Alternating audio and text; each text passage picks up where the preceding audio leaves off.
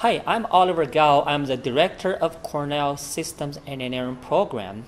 One of the key challenges that we're facing today is energy.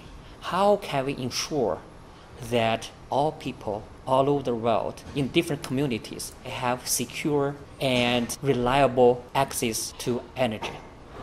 I'm Lynden Archer. I am the director of the Cornell Energy Systems Institute. One of my highest priorities is actually recruiting students who are passionate about energy, who wants to understand how energy is positioned in a systems context. In particular, energy is complicated because energy is always one of those aspects of technology that is integrated across scales. We like to refer to that as vertically integrated.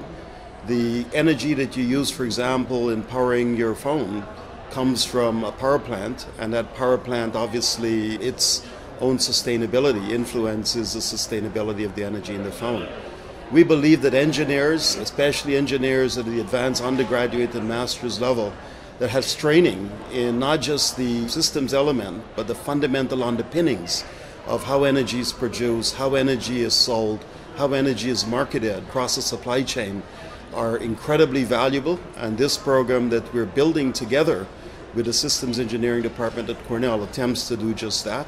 I want to create a culture within the institute that's entrepreneurial, where persons like you who join us in this education mission leave not just better prepared to do your current job, but more aware of opportunities where you might discover new technology, where you yourself might start a new company to have impact. We are very much interested in you.